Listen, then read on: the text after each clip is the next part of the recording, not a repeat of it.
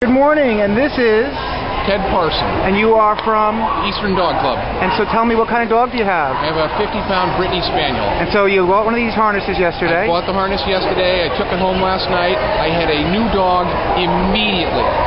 Um, the very second, uh, the slightest, very slightest amount of tension came on, the dog just stopped and waited for me. Like, you know, where are we going next? I, I, I mean, this dog was an incredible puller, and she just has totally changed immediately. That's a wonderful thing. Unbelievable. I thank you, sir. You're welcome.